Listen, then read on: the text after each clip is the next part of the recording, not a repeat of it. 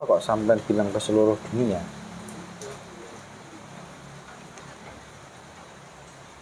Karena perintahnya memang seperti itu. Seluruh dunia dalam bahaya. Artinya waktunya alam melakukan pembersihan. Sudah dimulai? Mulai dari sekarang. Di awal tahun awal tahun ini? Mulai Assalamualaikum warahmatullahi wabarakatuh. Alhamdulillah wa syukurillah la haula wa la quwwata illa billah. Salawat serta salam selalu kita curahkan pada junjungan kita Nabi Agung Nabi besar Muhammad sallallahu alaihi wasallam yang akan selalu kita nantikan syafaatnya di amin kiamat nanti. Amin amin ya rabbal alamin. Untuk sahabatku pada bahkan mau Majapahit di mana pun berada semoga selalu diberikan kesehatan jasmani amin. maupun rezeki barokah melimpah ruah amin. Dan untuk konten pada malam hari ini tentang sesar Lembang yang ada di Jawa Barat. Mungkin banyak sekali yang sudah mengetahui tentang sesar Lembang. Juga ada potensi yang kemarin tentang gempa Cianjur. Itu juga berasal dari sesar Lembang. Itu salah satunya.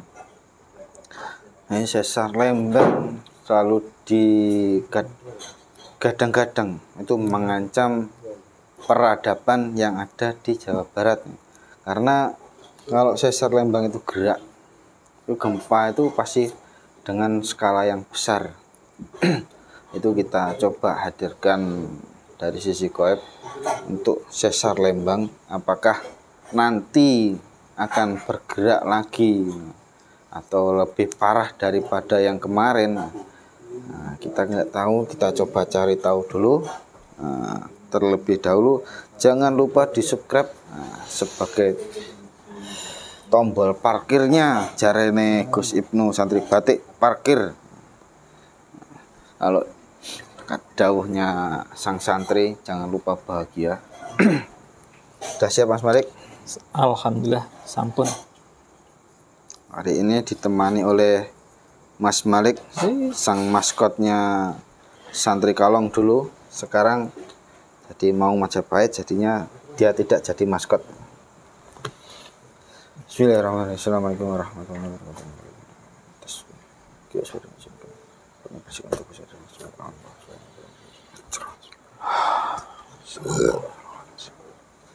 Assalamualaikum warahmatullahi wabarakatuh. Tolong dihadirkan.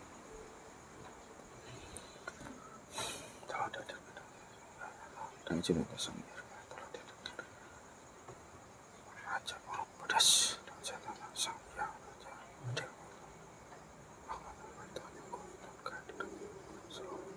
Huh. Allah monggo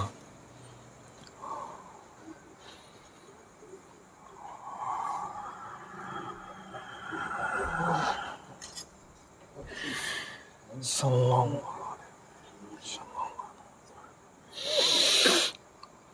Assalamualaikum warahmatullahi wabarakatuh. Eh sebelum saya jawab salamnya itu biasanya kita harus ngecek dulu keislamannya. Silahkan dengan membaca dua kali masyadat dan tiga kali membaca sholawat silahkan. Bismillahirrahmanirrahim. Asyhadu an la ilaha illallah wa asyhadu anna Muhammadar Rasulullah. Bismillahirrahmanirrahim. Asyhadu an la ilaha illallah wa asyhadu anna Muhammadar Rasulullah. Sallallahu ala Muhammad sallallahu ala Muhammad sallallahu Waalaikumsalam warahmatullahi wabarakatuh. Dengan siapa saya berbicara? Selamat malam. Salam santun rahayu, Rahayu. dari kami. Saya salah satu pasukan beliau, Sang Yang Nurjaya Nirwana, dan juga termasuk pasukan terdekat dari Prabu Siliwangi, Raja Pasundan. Terus panjenengan ini sampean ini punya nama ataupun julukan siapa? Nama saya bermacam-macam di setiap generasi berbeda. Alangkah kurang sopannya jika saya menyebutkan nama saya. Kalau Tapi panggil saja Joko. Mbah Joko. Jadi kalau mau bodas beda lagi.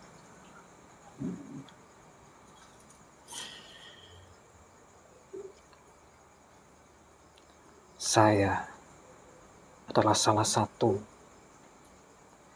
dari pecahannya beliau, Oh, pecahannya mau bodas. mau bodas.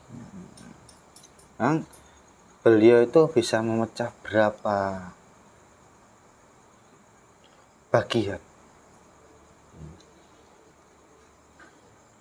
Saat ini bisa banyak, bisa sampai ribuan.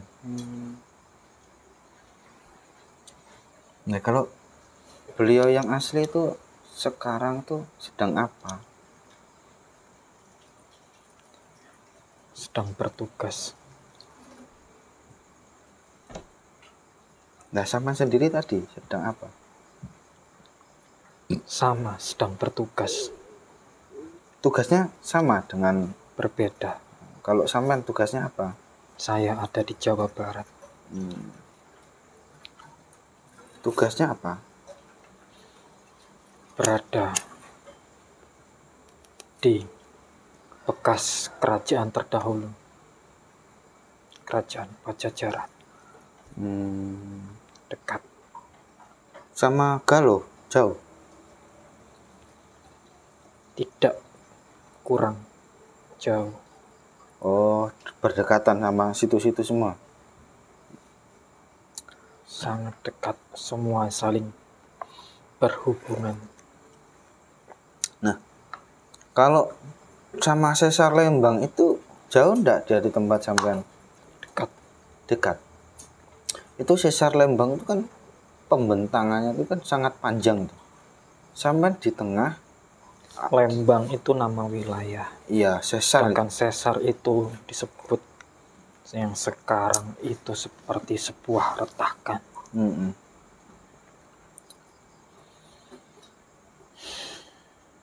retakan dari gejolak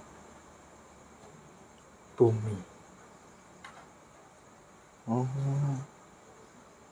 Ini ini kalau saya lihat di YouTube itu eh kok di YouTube ini di internet itu yang terkenal itu Sesar Lembang. Ada lagi Sesar kayaknya apa itu Sesar apa lagi itu? Banyak kayaknya. sebenarnya Ada Lembang Palut bareng. itu berhubungan semua. Nah. jauh sekali memutar Hmm, jauh setengah bumi.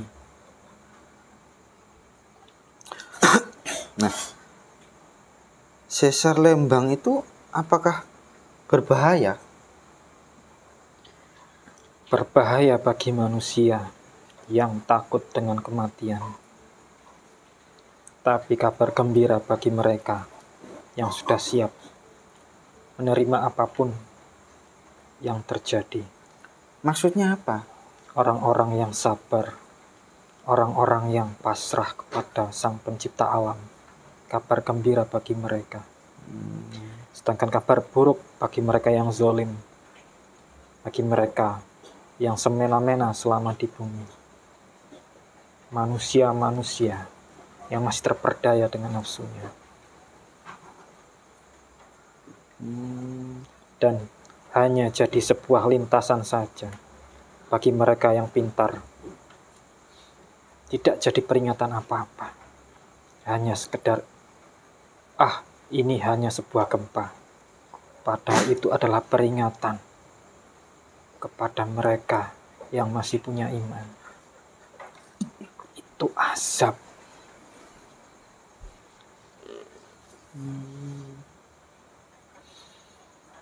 Seandainya manusia itu tahu bahwa makhluk yang bernama Ardi atau bumi itu selalu bergerak, makhluk yang bergerak dan terus bergoncang.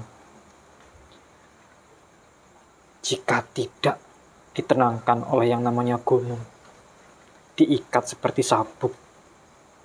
Oh. Niscaya kalian tidak akan bisa tidur jika tidak ada gunung.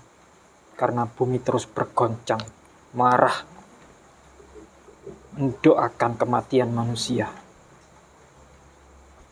Berarti gunung itu seperti pasak ya? Pasaknya bumi. Gunung itu pasak, pasak bumi. Rijalun, goib. Satu dengan satu lainnya saling berhubungan. Iya. Kan gitu. Karena gunung itu kan tembusnya ujungnya kan di Jabal Kof kan. Gunung Kof. Nah, apakah Lembang itu juga termasuk sambungannya ada sambungan dengan gunung? Cobalah kamu perhatikan.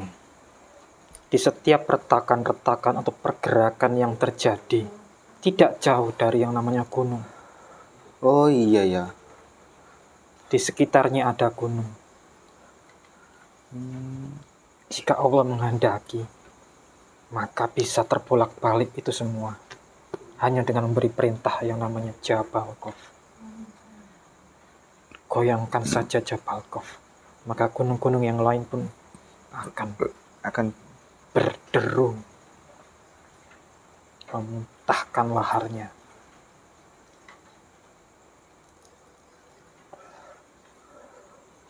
Jadi apakah juga ada sesar Lembang itu apakah ada hubungannya dengan gempa yang kemarin di Cianjur yang sangat besar itu?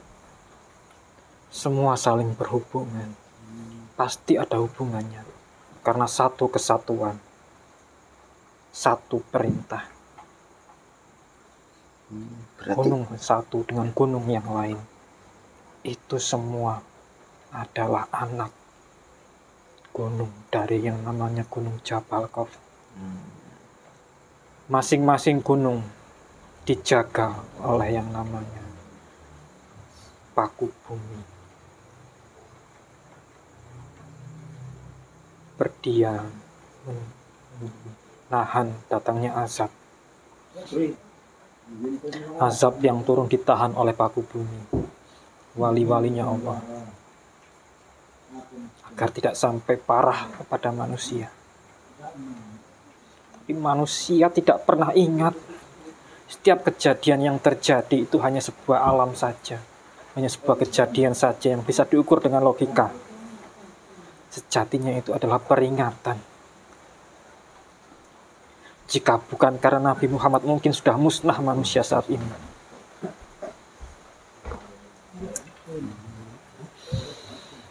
Sallallahu Jadi apakah kemarin yang gempa di Cianjur itu masih skala kecil atau sudah besar? itu peringatan awal Berarti kecil. kecil Apakah kemungkinan ada yang lebih besar lagi? pasti ada karena itu sedang tertahan sesuatu itu sedang tertahan untuk keluar Ya kalau saumpama ya terjadi yang lebih besar, berarti pecah dong lempeng-lempeng bumi itu. sejak dulu mudah bagi Allah Subhanahu wa taala untuk membolak-balikkan umat manusia. Untuk membolak-balikkan kaum itu mudah sekali.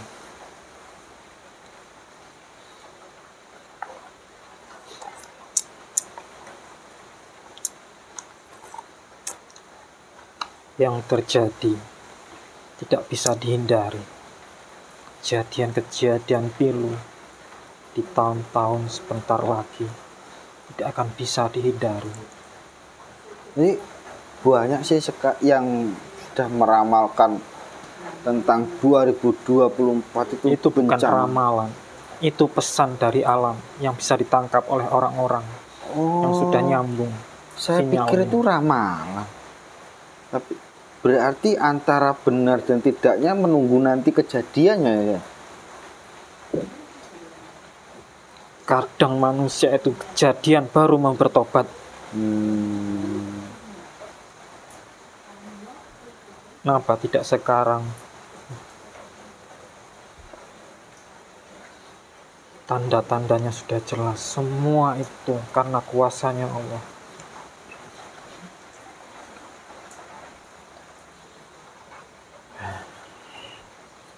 Manusia emang seperti itu. Kalau seumpama ini benar-benar terjadi, Jawa Barat dalam bahaya. Tidak hanya Jawa Barat. Seluruh dunia dalam bahaya. Loh, kok seluruh dunia? Apa ada hubungannya sama kenapa kok sampai bilang ke seluruh dunia?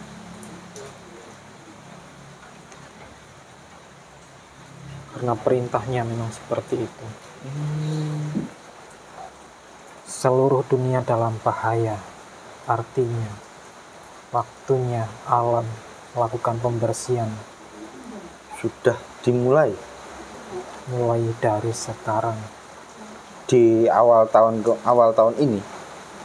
Mulai dari sekarang sudah bisa dirasakan angin kencang, banjir, badai, tsunami, perang, semua proses pembersihan, perpecahan apa pun itu saling bunuh membunuh, saling fitnah memfitnah sudah terjadi di mana-mana dan akan lebih parah lagi. Karena itu sebagai pembuka dari datangnya pemimpin akhir zaman. Berarti bumi mulai membersihkan dan menyambut. Benar. Kalau terjadi sesuatu ya, itu kan harus harus ada negatif yang sangat besar biar bencana itu semakin besar sisi negatif yang besar yang sampai tangkap itu apa saja kemungkinan Yang paling besar itu adalah fitnah fitnah terus dari sang mata satu. hmm, Fitnahnya menyebar ke seluruh pelosok rumah-rumah. Tidak ada yang luput. hmm. setelah fitnah Pertempuran hmm, apakah kemaksiatan juga itu sudah pasti. kalau ap- apakah ada kemungkinan kalau ada demo yang besar di Jakarta itu akan energi negatifnya kesedot ke situ Yang paling besar itu adalah dari dosa riba. dosa riba Yang kedua zina, maksiat. Tapi di atas riba ada lagi. Yaitu menyekutukan Tuhan yang Maha Kuasa. Bawahnya ada lagi. Menyukai sesama jenis. Dan itu sudah berkembang luas.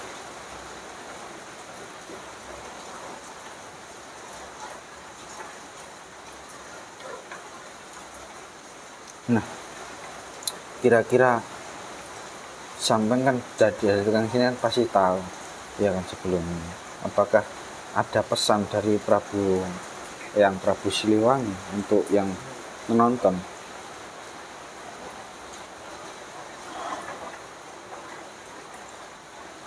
Untuk warga Pasundan Jawa Barat. Itu kan masuknya kan Sunda itu seluruh alam ini bersolawat kepada Nabi Muhammad. Sallallahu alaihi Muhammad Sallallahu alaihi Muhammad maka kalian pun juga manusia untuk menyamakan irama dengan alam bersolawatlah. Sallallahu alaihi wasallam. Hanya itu saja. Nah. dan mudah-mudahan dari sholawat itu kamu mendapat hidayah dan keberkahan dari beliau Nabi Muhammad. Sholli jadi mengenai sesar Lembang itu apakah bisa berapa kali lipat kira-kira kalau memang bencana besar itu? Dari kemarin di Cianjur itu.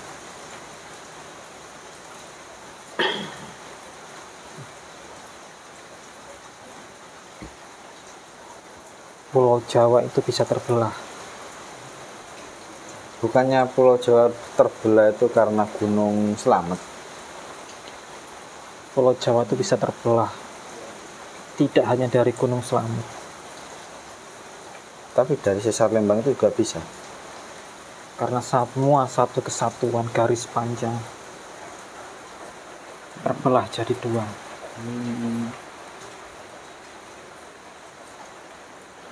Banjir datang.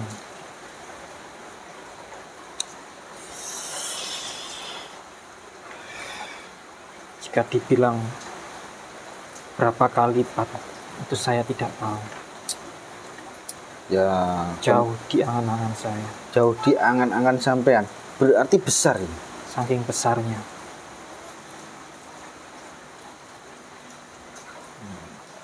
Tidak ada tempat bagi manusia sembunyi. Kecuali hanya kepada Allah perlindungnya. Satu-satunya tempat berlindungnya kepada Allah Subhanahu wa taala Iya, sallallahu alaihi Salam.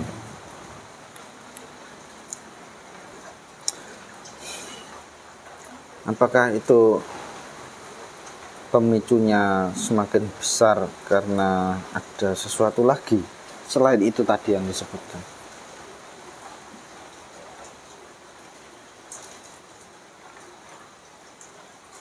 tidak ada pemicu yang lain selain ulah manusia sendiri perlu diketahui bahwa Allah tidak akan menurunkan azab jika tidak ada alasannya. Alasannya tidak jauh dari dosa-dosa manusia itu sendiri yang terkumpul di tempat-tempat tersebut. Mungkin sebelum kita akhiri ada pesan-pesan nggak untuk warga Bandung, Jawa Barat dan Jawa Barat lah. Jangan Bandung, Bandung terlalu kecil. Jawa Barat saja menyeluruh.